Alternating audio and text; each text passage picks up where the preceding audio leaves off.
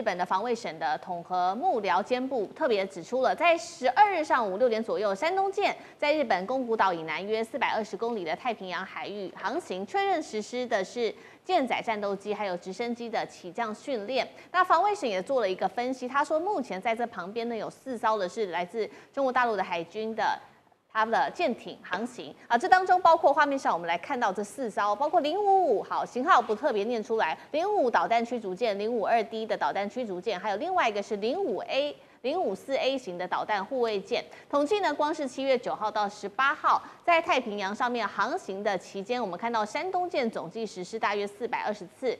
舰载战机还有直升机的起降相关训练，山东舰搭配的编队，我们现在来看，真的只是做操演飞机的起降训练吗？刚刚我们特别聊到的这旁边的四个编队都是主力战舰，未来就是主要配合山东舰的航母打击群吗？这次出海，其实让日方看得清清楚楚，大家也都会觉得说，哎，是有什么样特殊目的，不再遮掩了。舰长怎么看？首先，我特别要说，这个随着中国大陆的航母越来越多。未来航母到我们东边去操演的这个频率会越来越高，我们应该要慢慢的习惯。但是因为台湾总是就所有人，其实我不能说台湾所有人都是习惯说，哎，这个人一定是针对我这样做的。其实不是，他操演他就是要到那里去，他就是要练习，有军舰有飞机有就是要训练。那你是不是针对你？我觉得有时候不是，但是我们去这样去过度解读。第二个你要想，像目前有两艘主要船，一个是福建嘛。一个是山东，福建目前在海试，好不好？他还没有开始训练，他在海试就是试验他的装备。那山东现在在训练，所有的航母训练大概分三种，第一种是单舰的部署训练，好比说我一个人掉到水里，我怎么救他？好比说我的轮轮机的装备故障，我怎么样？好比说我船上哪里失火，我要怎么样去灭火？这都是在单舰的，这些单舰有的在港内就可以做，或者在附近的港口做，这是第一种。第二个呢就是。单舰的飞机起降，我没有管到作战，我就是训练它起降起降。这个在东海啊、黄海也可以做。但是还有一个是战斗群，战斗群就是有一，就像这是一拉了一群的人出来。嗯。战斗群的它的训练的时候，它的半径基本上要有五百公里以上。嗯。所以唯一的区域就是我们的右边，就是叫做菲律宾海那里。只要是航母战斗群训练，就要跑到我们的右边去。他有没有针对我们呢？我我倒不觉得。他那不然他要到哪里去？他没有地方可以去的，你知道他往上拉在威胁日本，他往下拉是在威胁菲律宾，他就往往东拉在威胁美国。你都可以去做这些解读。他可不可以去调整？顺带的，除了做我的训练之外，顺带做一些政治的威胁，当然可以。嗯，他甚至可以调整一些时间。原来我是下个礼拜或者下个月的十号要做的，哎，结果最近南海形势紧张，我也许七号就给他拉过去做了。他就我又做训练，我又有政治宣示目，这些就是他的一个。那至于说他每一次的这些航母战斗群的标准配备啊，那这个还没有到齐，或者是说有些东西你不见得你看得到，因为他不是跟在他旁边，他有时候一下散开来的，就好像打球都有一个篮球都有一个两个前锋一个中锋两个后卫，它有一个标准的航母战斗群也有一个标准，航母一个两艘巡洋舰，像中国大陆就是动物，它是作战指挥的，要轮流的。三艘驱逐舰是为了附近的防卫的，然后天空有个预警机，水下有两艘核子攻击动力，这是它的标准配备。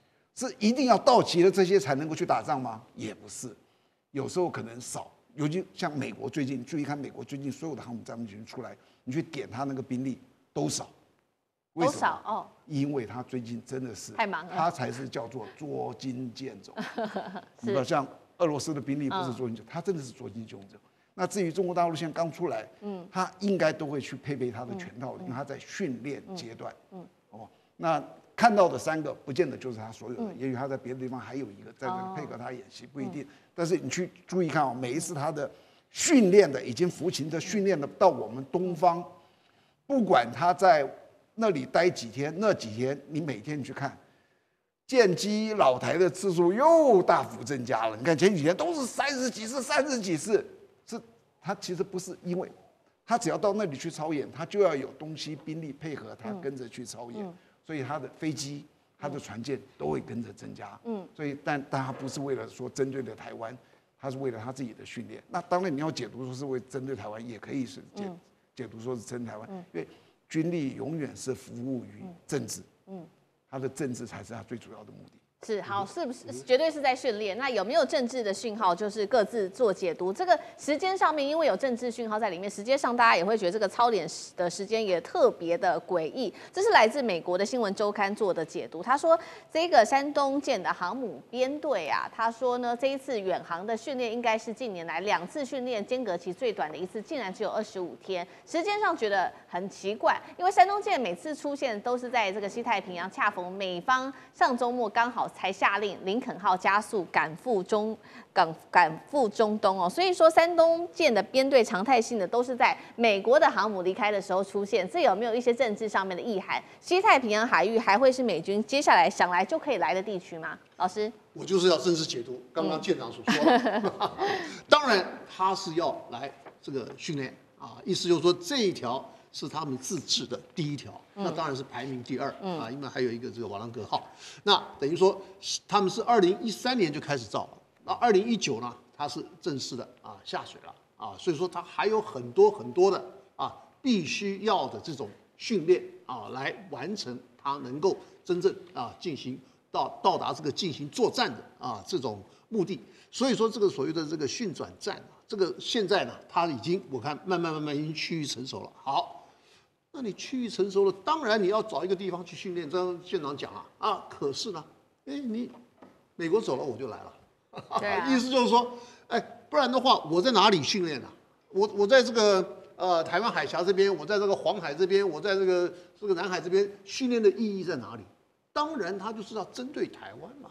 意思就针对台湾之外，当然就是针对美国嘛。意思就是说，你美国以后你要来怎么样的话，我这边就先把你挡住了。嗯，我也在这啊，当然啦，对不对？那我今天把你挡住的话，我就看你你是不是真的还想来呃染指台湾。那这个东西，我觉得这个政治意味跟警告的意味是非常非常明确的。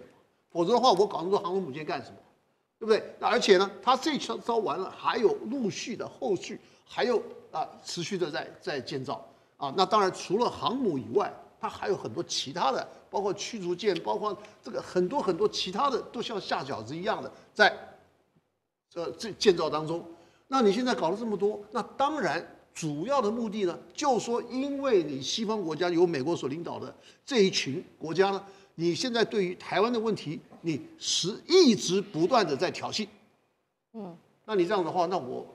你要我我我难道坐视不理吗？嗯，不可能嘛。那所以说，我现在就是要用这种方式啊，从海洋、从海军的这种强化的啊这种方式呢，来给你们一个警告。嗯，意思是说，好，你要来来，那你是不是要玩大的？